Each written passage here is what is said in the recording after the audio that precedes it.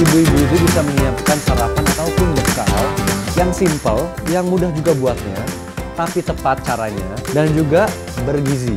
Seru ya, harus sering-sering dibikin.